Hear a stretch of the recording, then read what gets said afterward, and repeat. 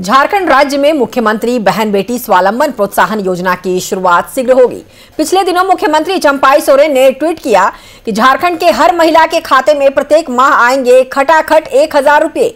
महीने और इस पर राजनीतिक बयानबाजी तेज हो चुकी है। भाजपा के प्रदेश प्रवक्ता प्रतुल शाहदेव ने तंज कसते हुए कहा कि मुख्यमंत्री अब कांग्रेस की भाषा अपना रहे हैं। महज आम जनता को ठगने के लिए यह हथकंडे अपनाए जाते हैं। वहीं कांग्रेस के प्रदेश मीडिया प्रभारी राकेश सिन्हा ने पलटवार करते हुए कहा कि पिछले दस वर्ष में जो जुमला दिए गए उस पर भी बोल देना चाहिए। झारखंड सरकार और इंडिया गठबंधन समाज के हर वर्ग के उत्थान के लिए अग्रसर है। एक और झामुमो के जिला सचिव हेमलाल मेहता ने भाजपा पर निशाना साधते हुए कहा कि मुख्यमंत्री बेहद संजीदगी के साथ अपने भावों को प्रकट करते हैं। यह सरकार झारखंड वासियों के लिए कई जनहित कार्य कर रहे हैं, जिसका एक उदाहरण है मुख्यमंत्री बहन बेटी स्वावलंबन प्रोत्साहन योजना। जैसे ही आपके जेहन में खटाखट और फटाफट आता है तो सीधे ही ये जो कांग्रेस की वादा खिलाफी या कांग्रेस का झूठ और फरेब है, वो याद आ जाता है। अब आप देखें, कांग्रेस ने खटाखट, फटाफट करके महिलाओं का वोट लेने की कोशिश की, उनसे फॉर्म भरवा लिया कि हम एक लाख रुपए आपको देंगे। ये नहीं लिखा है इस फॉर्म में कि सत्ता में आएँगे तो देंगे तो महिलाओं ने भी ये सोचकर भर दिया। और कांग्रेस के हारने के बावजूद उनके दफ्तर में महिलाओं की भीड़ लग रही है, क्योंकि खटाखट, फटाफट तो वहाँ भी राहुल गांधी ने कहा था। अब माननीय मुख्यमंत्री जी भी खटाखट, फटाफट कर रहे हैं तो जो खटाखट, फटाफट का इतिहास रहा है, उससे तो लगता है ये सिर्फ़ हवा हवा ही हो जाएगा। और ये सरकार ऐसे भी घोषणावीर सरकार है। माननीय मुख्यमंत्री जी, हेमंत सोरेन पार्ट टू खुद को कहते हैं। तो जैसे पार्ट वन में बड़ी बड़ी घोषणाएँ होती थी ग्राउंड में कभी उतरता नहीं था पार्ट टू में भी वैसे ही दिख रहा है अभी तक। दस सालों में देश के प्रधानमंत्री नरेंद्र मोदी ने अपने वादे को पूरा नहीं किया। तो भारतीय जनता पार्टी को पहले उनसे पूछना चाहिए कि दस साल आप सत्ता में रहे तो आपने वादा क्यों नहीं पूरा किया? दो करोड़ प्रत्येक वर्ष हम युवाओं को रोज़गार देंगे महँगाई कम करेंगे। ये जो वादे थे, दाऊद इब्राहिम को देश में लाएँगे, और परिस्थिति क्या हुई?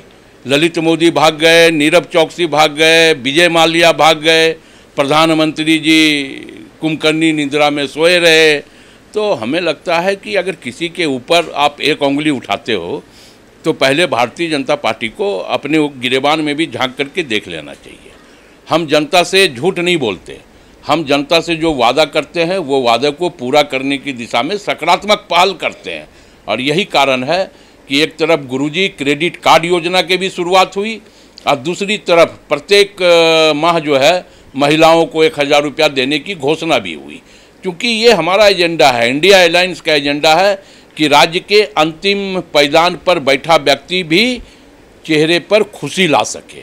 हम उनके चेहरे से मायूसी छीनना चाहते हैं और खुशी लाना चाहते हैं।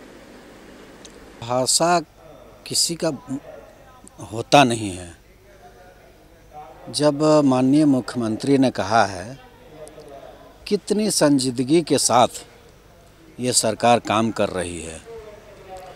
आदरणीय हेमंत सोरेन ने जो कहा था कि हम सर्वजन पेंशन देंगे। सर्वजन पेंशन मिल रहा है कि नहीं मिल रहा है? जिसका राशन कार्ड नहीं है, उसको भी मिल रहा है। मैंने सभी लोगों को 60 साल के तमाम वृद्धा को मिल रहा है पेंशन। मिल रहा है कि नहीं मिल रहा है? तो ये हुआ कि नहीं हुआ? कथनी और करनी में भी भारतीय जनता पार्टी का अंतर होता है, हम लोग का नहीं होता है। दूसरी बात, आदरणीय हेमंत सोरेन ने कहा कि 50 साल तक के तमाम आदिवासी और हरिजन महिलाओं को पेंशन देंगे। दिया कि नहीं दिया, एकदम दे रहे हैं। झारखंड सरकार दे रही है। तभी इसी कॉन्फिडेंस के साथ आदरणीय मुख्यमंत्री चंपई सोरेन ने कहा है कि हम 25 साल से लेकर उनचास साल तक के महिलाओं को मुख्यमंत्री पेंशन योजना के तहत एक हज़ार रुपया हम प्रति माह देंगे तो देंगे। इसमें कहीं दो मत नहीं है।